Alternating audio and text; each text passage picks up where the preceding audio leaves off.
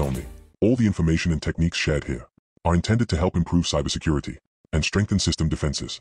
Unauthorized hacking is illegal and can lead to serious consequences. Please use this only for knowledge responsibility and only on systems where you have explicit permission.